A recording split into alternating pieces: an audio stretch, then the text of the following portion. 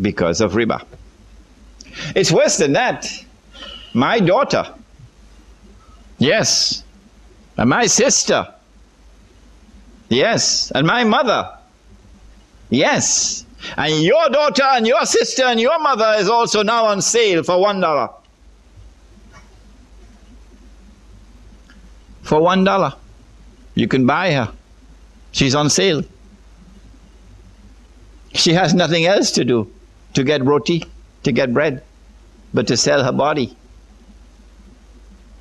And when her body is being ripped apart by those who now attack her like savages to fulfill their lust for one dollar, and when the tears come down her eyes, what will Allah do to those who are still eating halwa?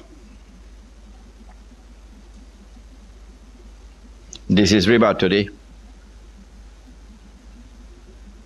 We have introduced you to the riba, which is the lending of money on interest.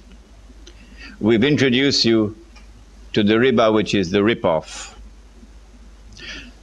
We have said in previous lectures that you could buy a chicken now with the salary that you used to buy a camel.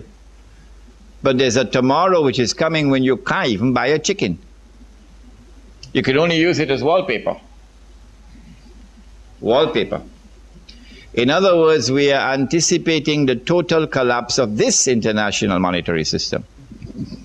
This fraudulent international monetary system, which was put in place to rip us off, and which has now ripped us off.